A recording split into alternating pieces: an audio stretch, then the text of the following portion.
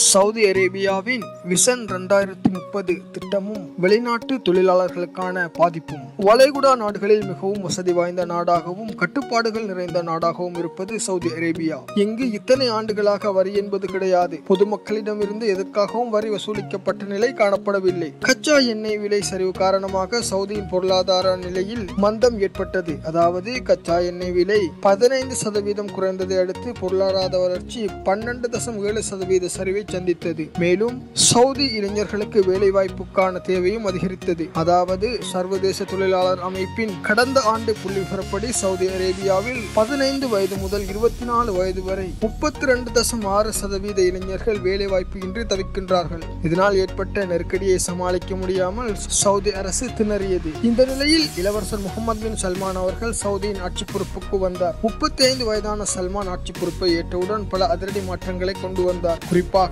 அரச குடும்பத்தில் ஊழல் பெருவழிகள் என்று அறியப்பட்டவர்களை கடந்த அக்டோபர் நவம்பர் மாதங்கள் அதிரடியாக கைது செய்தார். அரசு மற்றும் தனியார் துறைகளில் சவுதி இளைஞர்களுக்கு வேலைவாய்ப்பில் முன்னுரிமை வழங்கவும் முடிவு செய்தார். இவற்றுக்காக பொருளாதார சீர்திருத்தம் என்ற பெயரில் விஷன் இரண்டாயிரத்தி முப்பது என்ற திட்டத்தை பிரகடனம் செய்தார். இது எண்ணெய் வள பொருளாதாரம் தவிர்ந்த பிற துறைகள் மூலம் வருமானத்தை மேம்படுத்துவதற்கான முயற்சி என உலக நாடுகளுக்கு காண்பிப்பதற்கான திட்டம் என்றும் கூறப்படுகின்றது. அதன்படி முதன்முறையாக கடந்த ஜனவரி மாதம் முதலாம் ஒன்பதாம் திகதி முதல் சவுதி அரேபியாவில் பெட்ரோல் உட்பட அனைத்து பொருட்களுக்கும் ஐந்து வீத வாட்வரி விதிக்கப்பட்டது. விஷன் இரண்டாயிரத்தி முப்பதாம் ஆண்டின் முக்கிய குறிக்கோள் வெளிநாட்டு முதலீட்டுகளுக்காக செங்கடலில் ரூபாய் ஐந்தாயிரம் கோடி டாலர் மதிப்பில் பொருளாதார மண்டலம் அமைப்பதுதான். இதற்கு நியோம் என்று பெயரிட்டுள்ளார்கள். இந்த விஷன் இரண்டாயிரத்தி முப்பது முகமது பின் சல்மானின் அரசியல் யுக்தி என்றும் எண்ணெய் வளம் சாராத தனியார் துறைகளுக்கு வளர்ச்சி திட்டம் என்றும் கூறப்படுகின்றது. இதன் மூலம் நாட்டின் மொத்த உள்நாட்டு உற்பத்தியில் நாற்பது சதவீதம் முதல் அறுபத்தி ஐந்து சதவீதம் வரை தனியார் பங்களிப்புக்கு இலக்கு நிர்ணயிக்கப்பட்டுள்ளது. அதன்படி இரண்டாயிரத்தி முப்பதில் பல்வேறு துறைகளில் ஐம்பத்தி ஐந்து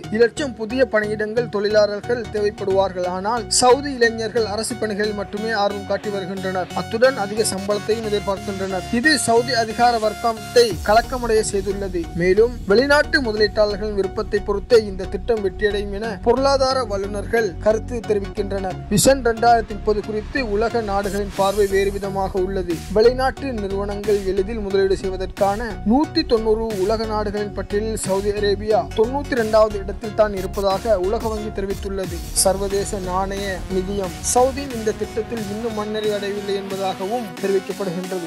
ஏற்கனவே அங்குள்ள பொருளாதார வளர்ச்சி திட்டங்களில் உள்ள முக்கிய குறைபாடுகள் இன்று வரை சரி செய்யப்படவில்லை. குறிப்பாக அரசியல் ஸ்திரத்தன்மை முதலீட்டாளர்களுக்கு பெரும் சவாலாக இருக்கின்றது. அவர்கள் சட்டத்தின் ஆட்சி ஊழலற்ற நிர்வாகம் குறைவான கெடுபிடிகள் வணிகத்தில் அரசின் தலையீடு குறைவாக இருக்க வேண்டும் என்பது போன்றவற்றை எதிர்பார்க்கின்றார்கள். சவுதியில் தற்போது இந்தியர்கள் உட்பட ஒரு கோடியே இருபது லட்சம் வெளிநாட்டினர் பல்வேறு துறைகளில் வேலை பார்த்து வருகின்றனர். விஷன் இரண்டாயிரத்தி முப்பது திட்டத்தால் இவர்கள் வேலை இழக்கும் நிலைக்கு தள்ளப்படுவார்கள். குறிப்பாக இந்த திட்டத்தால் சுமார் முப்பது லட்சம் இந்தியர்கள் வேலை இழப்பார்கள் என்பதாக கணிப்பீடுகள் தெரிவிக்கின்றன. முதற்கட்டமாக செல்போன் விற்பனை சர்வீஸ் சிம் கார்டு விற்பனை ஆகிய துறைகளில் பிற நாட்டினருக்கு அனுமதியை கடந்த ஓராண்டுகளுக்கு முன்பு சவுதி அரேபியா தடை செய்தது. இந்த துறையில் தமிழகம் மற்றும் கேரள மாநிலத்தைச் சேர்ந்தவர்களே அதிகம் இருந்தனர். அவர்கள் அனைவரும் வேலை இருந்தமை குறிப்பிடத்தக்கது. தற்போது மேலும் பன்னிரண்டு துறைகளில் பிற நாட்டினருக்கு வேலை வாய்ப்பு உரிமையை தடை செய்துள்ளது. அதன்படி வருகின்ற செப்டம்பர் மாதம் முதல் கார் மற்றும் மோட்டார் சைக்கிள் விற்பனை நிலையங்கள் ரெடிமேட் ஆடை கடைகள் வீடு மற்றும் அலுவலகங்களுக்கான பர்னிச்சர் கடைகள் வீட்டு உபயோகப் பொருட்களை விற்பனை செய்யும் நிலையங்கள் ஆகியவற்றில் பிற நாட்டினருக்கு வேலைவாய்ப்பு கிடையாது என்பதாக தெரிவிக்கப்பட்டுள்ளது. மேலும் எதிர்வருகின்ற நவம்பர் மாதம் முதல் எலக்ட்ரானிக் விற்பனை கடிகார விற்பனை கண்ணாடி விற்பனை நிலையம் ஆகியவற்றிலும் வருகின்ற இரண்டாயிரத்தி பத்தொன்பதாம் ஆண்டு ஜனவரி மாதம் முதல் மருந்து உபகரணங்கள் விற்பனை மற்றும்